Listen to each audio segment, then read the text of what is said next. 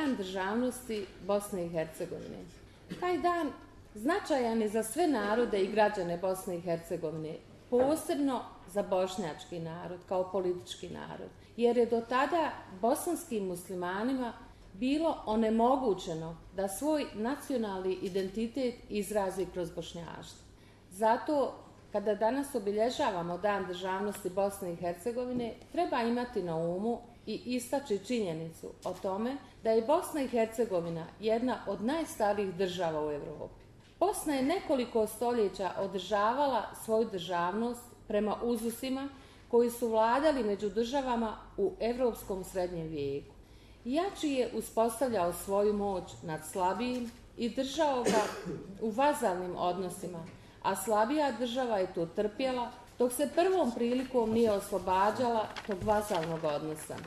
Historijske činjenice govori da je Bosna u jednom periodu koji ni u historijskim relacijama nije bio zanemarljiv, bila država par excellence na ovim prostorima sa punim državnim suverenitetom. Zato kada danas govorimo o državnosti Bosne i Hercegovine, ne možemo, a da se ne osvrnimo, ne osvrnemo na njeno ishodište. Bosnu i Hercegovinu je međunarodna zajednica priznala 1992. godine upravo zahvaljujući historijskoj činjenici o postojanju srednjevjekovne bosanske države na ovim prostorima. Ranija državnost Bosne bila je najjači argument protiv težnji Srbije, Crne Gore i Hrvatske da za zelenim stolom za sebe prisvoje bosansku zemlju da je bio samo 25. novembar 1943. godine, a da nije bilo historijske memorije o srednjevjekovnoj državi, možda bi neprijatelji Bosne i uspjeli ubijediti međunarodnu zajednicu o tome da je Bosna avnojevska tvorevina i da njene granice nisu državne, političke, već administrativne, kako su stalno tvrdili. Zbog toga je naša generacija veliki dužnik naših slavnih predaka koji su nam u svoje vrijeme sačuvali bosansku državu. Naša generacija je svojim suprostavljanjem srpsko-crnogorskom agresoru i hrvatskim uzurpatorima ostala na nivou slavne tradicije Bosne i Bosanaca na ovim prostorima. Pokazala se dostojnim predaka kakvi su bili, nabrojat ću one najpoznatije, Kulin Ban, Ban Ninoslav, Stjepan II. Kotromanić, Tvrtko I, Tvrtko II, Tomaš, Stjepan Tomašević, pa i zaštitnik Patarena Herceg Kosača, koji su svaki na svoj način više ili manje doprinijeli opstanku srednjevjekovne bosanske države, od nasrtaja i sa istoka i sa zapada, baš kao i danas. I da, je, i da stave, naravno, pod svoju krunu. Zato ne smijemo dozvoliti da se drugi narodi i države kite našim bosanskim vladarima. To su bili bosanski, a ne hrvatski banovi i kraljevi, jer u to vrijeme Hrvata u Bosni nije ni bilo. Bili su samo bosanski katolici. Našu zahvalnost dugujemo i Isa Begu, e, Isakoviću i Gazi Husrev Begu, koji su nam iza sebe ostavili ovako čaroban i hrabar grad kao što je Sarajevo.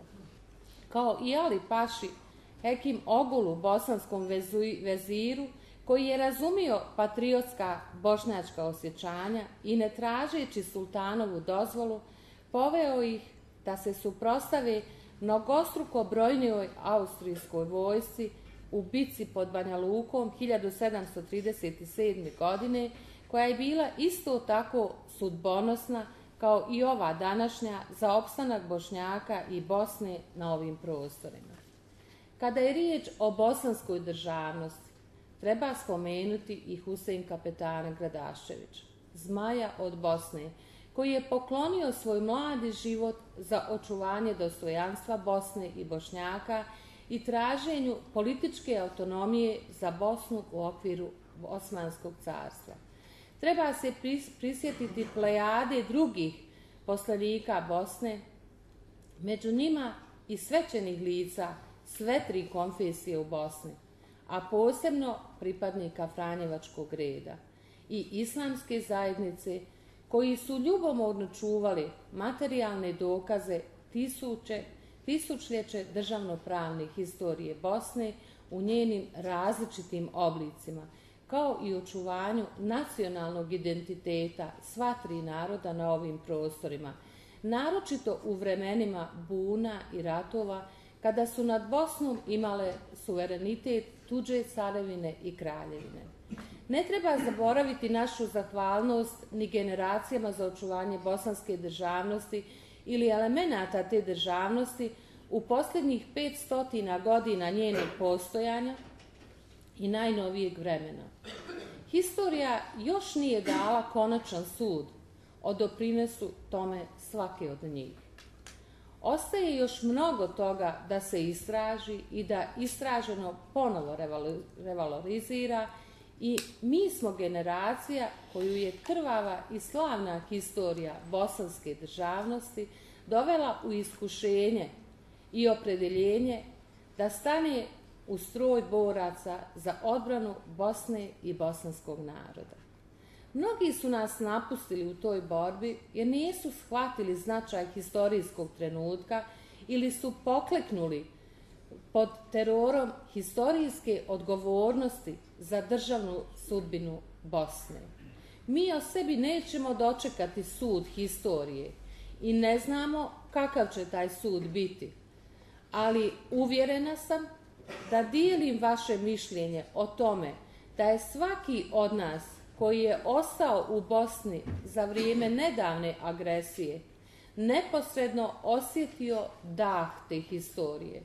Osjećao da u njoj učestvuje, da je stvara, da je rukom dohvata, da gleda ljude pored sebe, obične ljude, kako izrastaju u junake. U znamenite historijske ličnosti od djece izrastaju junaci, gazije, šehidi. Naime, Bosna i Hercegovina je bila država i kada je bila jedna od šest federalnih jedinica, to jest republika bivše Jugoslavije, ali nije imala spoljnjeg državnog suvereniteta.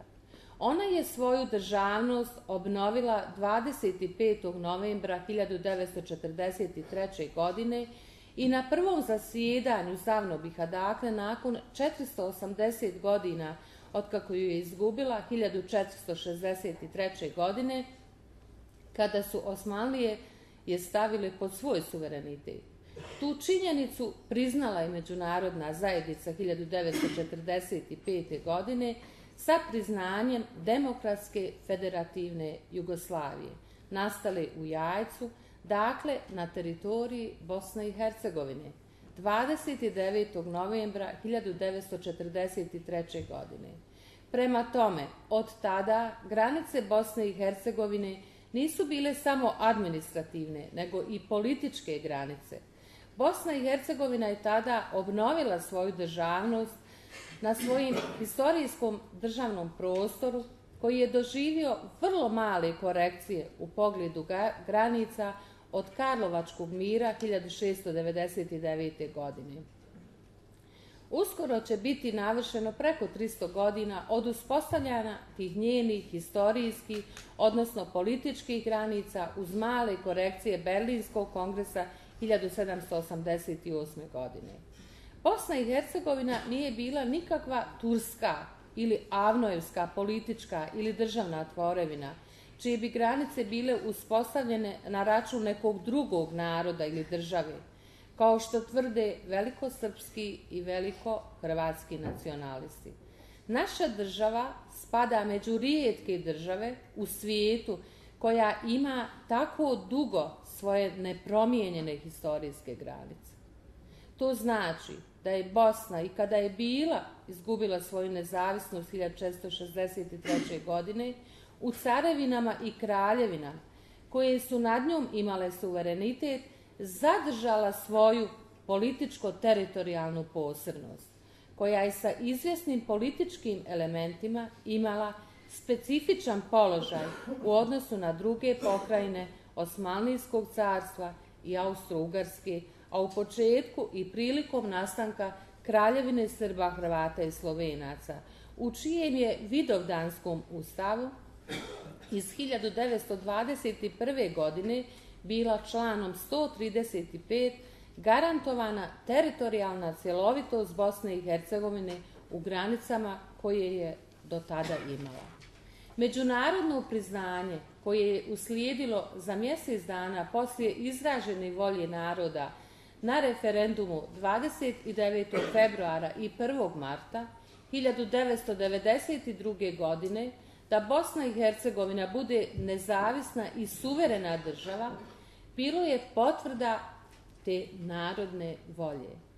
Dan nastanka jedne države i dan njene nezavisnosti koje priznaje međunarodna zajednica dva su najznačajnija datuma u životu jednog naroda i njegove države.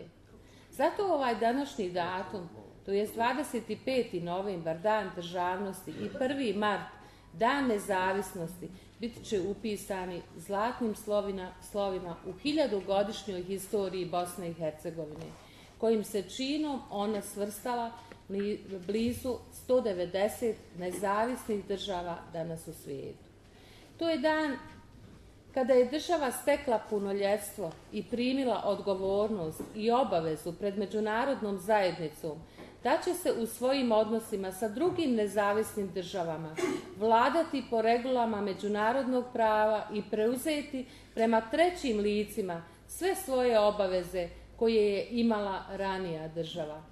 Da će poštivati međunarodno pravo i proklamovana ljudska prava i slobode, da će voditi miroljubivu politiku prema svim susjedima i da neće služiti silom da se neće služiti silom u međunarodnim odnosima, sa izuzetkom kada je prinuđena u samoodbrani od agresije.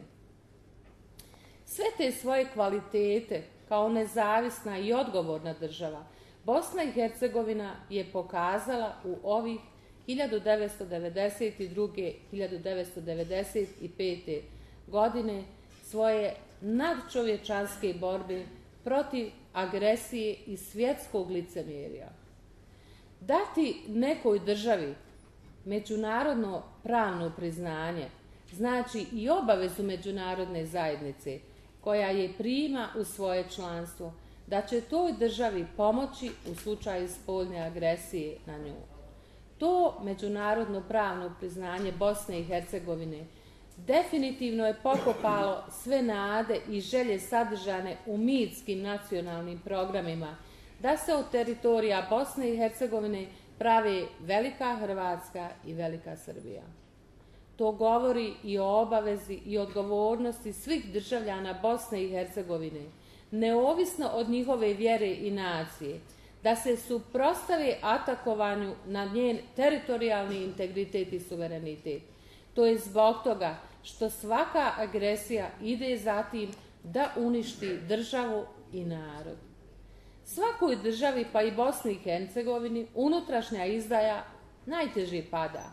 Stoga što vanjske sile preko tih unutrašnjih izdajnika hoće da unište državni suverenitet dotične države i nad njenom teritorijom uspostave svoj vlastiti. To je ono što su u Bosni i Hercegovini htjele, a još nisu odustale da urade neke mračne sile u zemlji i inozemstvu. Zato je tako i žestoka borba za Bosnu i Hercegovinu i opstanak njenih naroda. Narod kao politički narod može opstati samo u svojoj državi.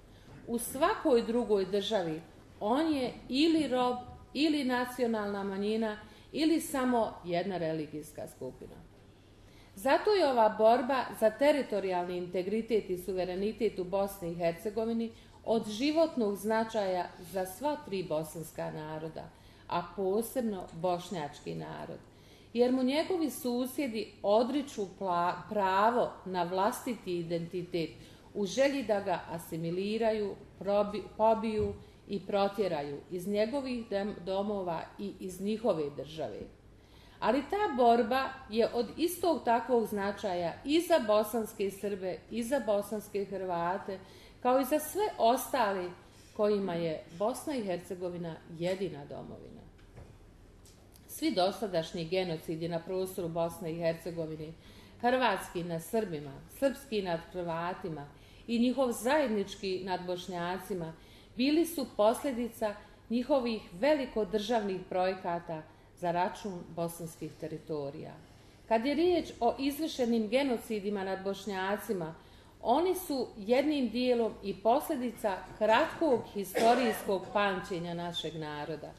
Tome je pomogla i činjenica što se bosanskim muslimanima onemogućavalo da svoj nacionalni identitet izraze kroz bošnjaštvo.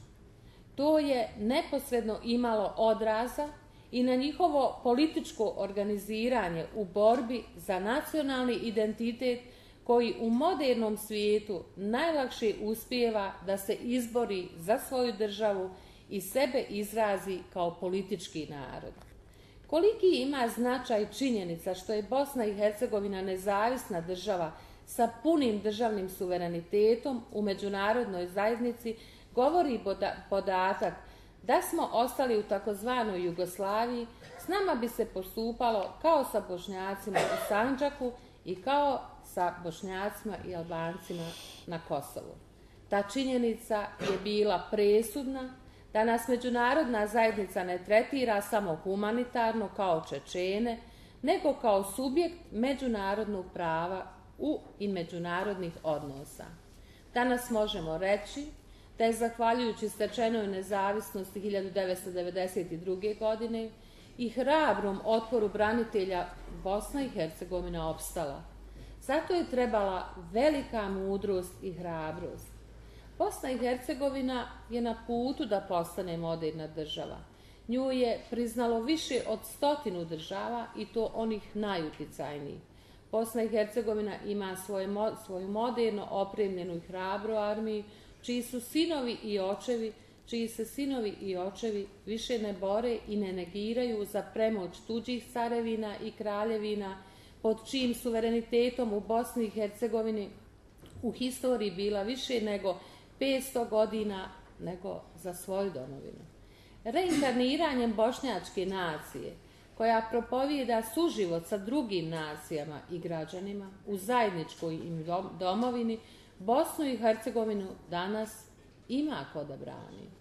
Zato kada danas obilježavamo ovaj značajan događaj, sjetimo se i odajmo dužnu poštu svima onima koji su u proteklim milenijima branili i očuvali na Bosnu i Hercegovinu.